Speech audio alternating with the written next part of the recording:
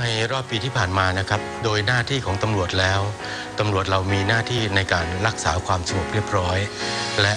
รักษาในเรื่องของความปลอดภัยในชีวิตและทรัพย์สินของพี่น้องประชาชนนะครับดังนั้นนโยบายที่ผ่านมารวมถึงการดำเนินการของเรา เราจะเน้นในเรื่องของการป้องกันและปราบปรามอาชญากรรม การปราบปรามยาเสพติด และการ ดูแลเด็กและเยาวชน ไม่ให้ตกไปอยู่ในภาวะกลุ่มเสี่ยงนะครับหลังจากเราดำเนินการตามนโยบายที่ผ่านมาแล้วเนี่ย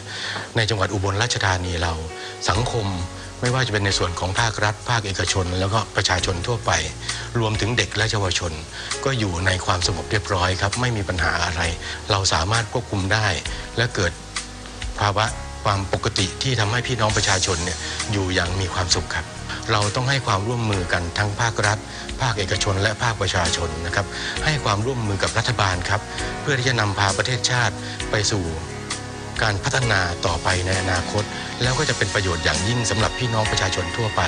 เมื่อบ้านเมืองสงบ ทุกสิ่งทุกอย่างก็จะดีขึ้น การพัฒนาประเทศในทุกๆ ด้านก็จะดีขึ้นเป็นลำดับครับ